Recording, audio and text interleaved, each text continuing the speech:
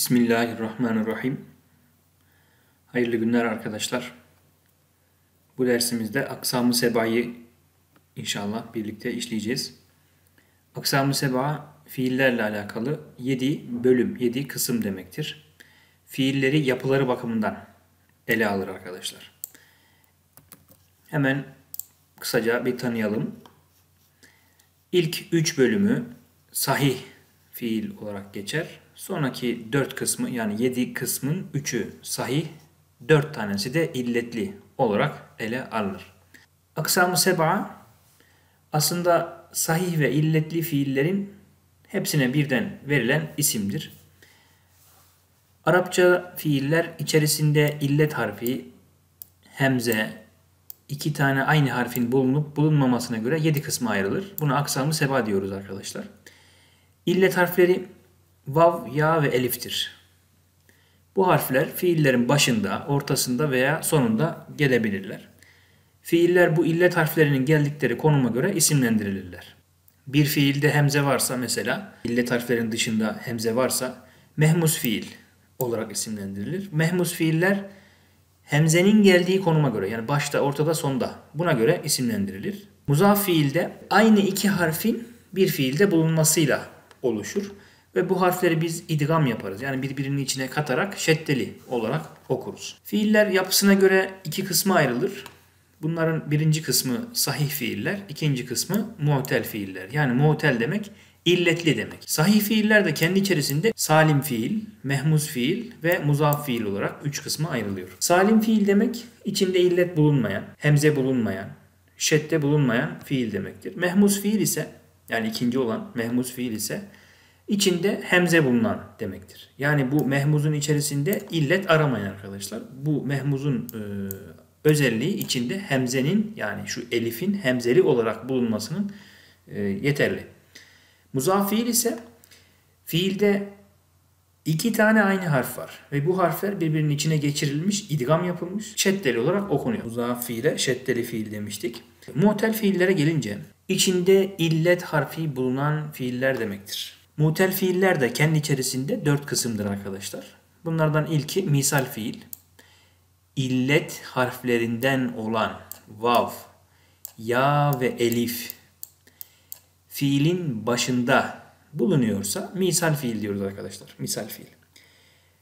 Eğer bu üç illet harfinden birisi fiilin ortasında bulunuyorsa buna ecvef fiil diyoruz.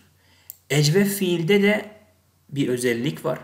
İllet harfi ya vav'dır arkadaşlar ya da y'dir. Elif diye aslı elif olan illet harfi ecvef için geçerli değil. Ecvefi vavi veya ecvefi ya'i şeklinde bunu da iki kısma ayırıyoruz. Nakıs fiile gelelim. Sonunda illet harfi bulunan şu vav ya elifin fiilin sonunda gelmesi gerekiyor. Bu şekilde sonunda gelen illetli fiillere de nakıs fiil diyoruz. Bu da ecvefe benzer ecbefi, e, vavi, ecbefi, ya'i vardı ya. Nakısı vavi, nakısı ya'i şeklinde ikiye ayrılıyor. Neden böyle yaptık? Çünkü nakısta da elif diye bir illet harfi bulunmaz aslında. Yani bunu e, mutlaka bakacağız. Nakısın vavi olanı mı yoksa ya'i olanı mı belirleyeceğiz arkadaşlar. Son kısım yani aksam-ı sebanın yedinci kısmı lefif fiildir.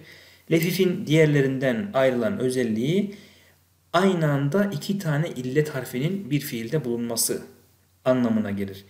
Bu e, illet harfleri yan yana bulunuyorsa, son iki harfi illetten oluşuyorsa lefifi makrun, ilk harfiyle son harfi illetli ise lefifi mefruk diyoruz. Fiillerin illet harfleri başta ortada sonunda gelir demiştik ya arkadaşlar. Bunları e, anlatırken şu şemayı bundan sonra kullanacağız. İyice öğrenelim. Feale fiilin kök hali sülasi bir fiil yani üç harften oluşan bir fiil. Ee, ilk baştaki harfine hangi fiil olursa olsun burası ketebe de olabilir arkadaşlar. Hangi fiil olursa olsun ilk harfine fael fiil diyoruz. Çünkü kalıbımız feale. İkinci harfine aynel fiil diyoruz. Üçüncü harfine de lamel fiil diyoruz. Hangi fiil olursa olsun tekrar ediyorum. Ketebe mesela. Ketebenin kef harfi fael fiildir arkadaşlar.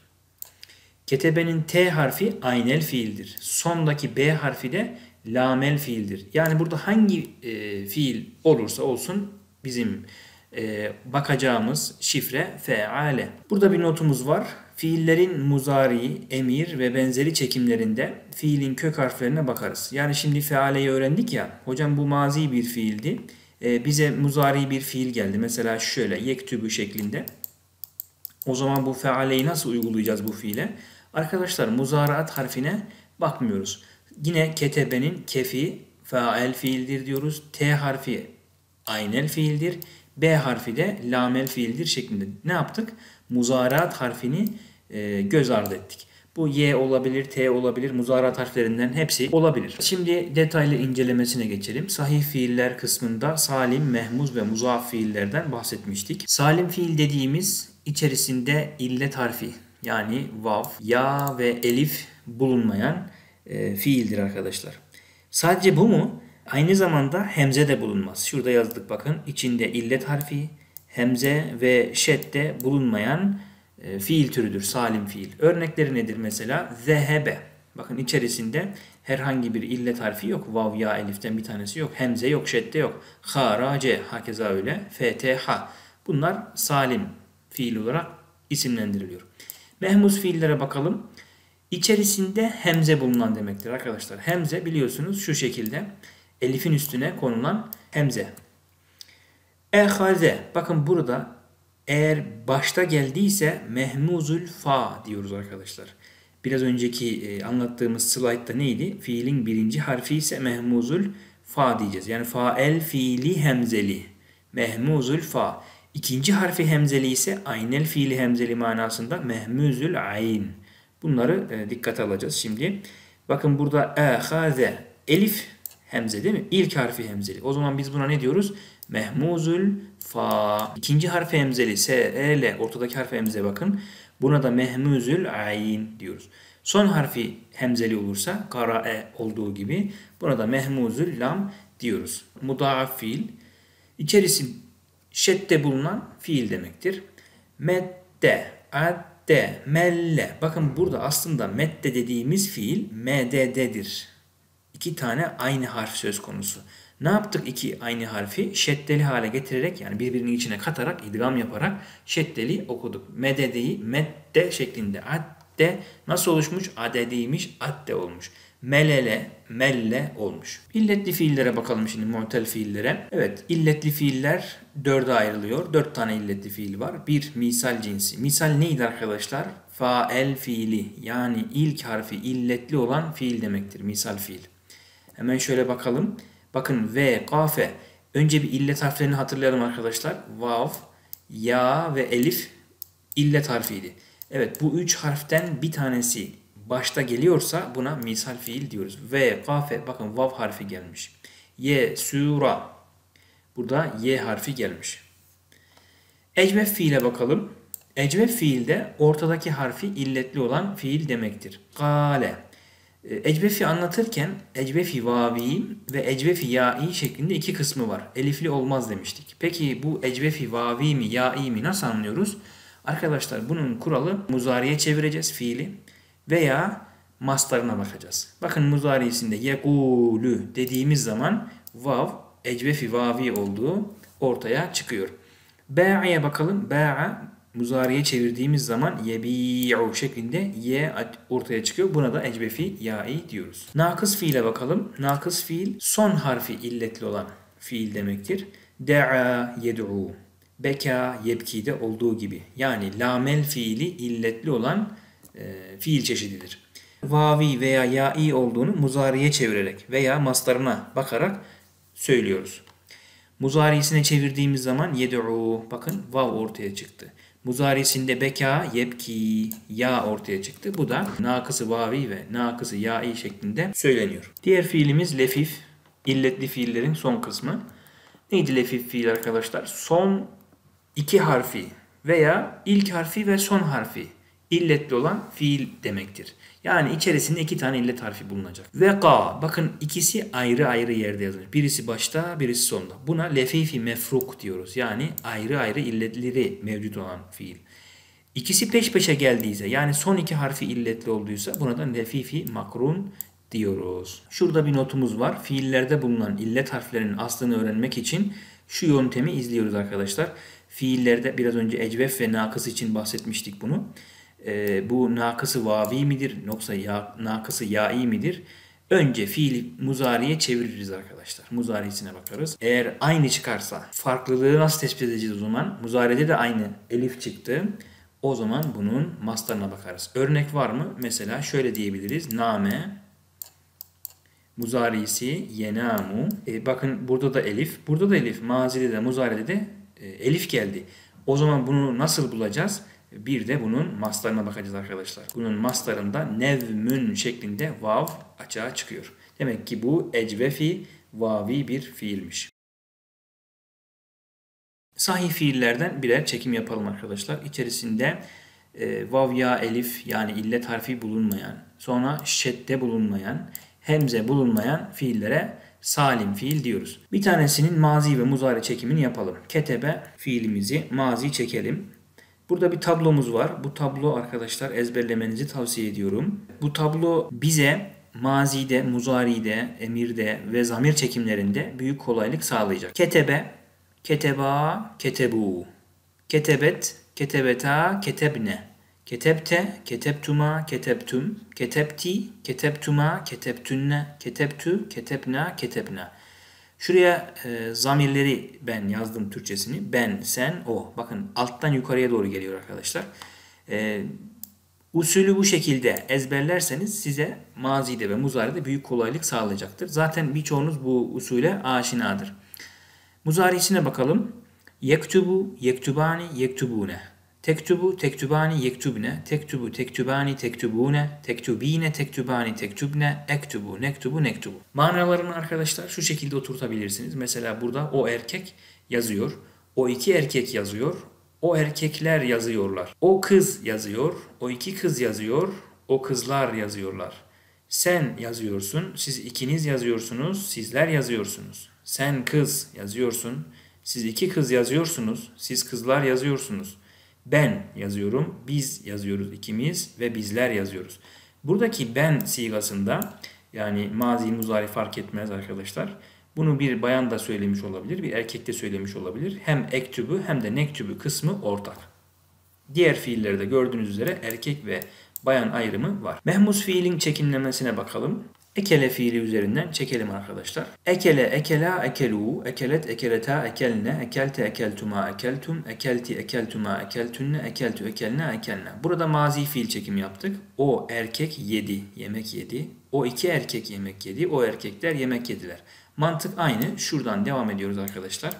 Müfret, tesniye, cemi şeklinde. Sonra ikinci satırda bayan için söylüyoruz. O kız yedi veya o bayan yedi. O iki bayan yedi. O bayanlar yediler. Burada da muzarisi var. Ye'külü ye'külani ye'külüne, te'külü te'külani ye'külne, te'külü te'külani te'külüne, te'küline te'külani te'külne, e'külü ne'külü ne'külü. Şimdi burada baktığımız zaman e'külü diye bir met harfi var. Buraya e külü demedik bakın. E külü dedik. Bu yazım kuralıdır arkadaşlar. Şimdi muzaf fiillere bir çekim yapalım. Fekke fiilini aldık. Burada e, manalarını verirken birer manasını verdik. Fekke'nin birden fazla manası var. Fekke, fekka, fekku, fekket, fekketa, fekekne. Fekekte, fekektuma, fekektum, fekekti, fekektuma, fekektünne, fekektu, fekekna, fekekna. Bu bozdu, e, parayı bozmak manasında, çözdü manasında fekke fiilini söyledik.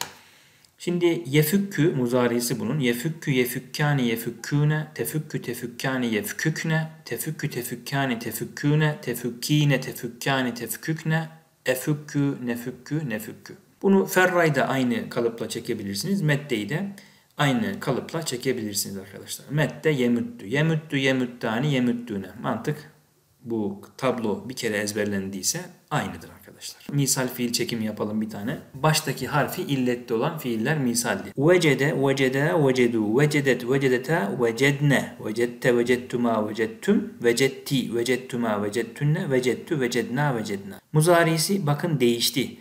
Vav neye döndü? Yecidu. Normalde diğer fiillerde mazinin üstüne yani maziye ilaveten muzaraat harfi getiriyorduk. Burada direkmen vav düştü yerine ye geldi.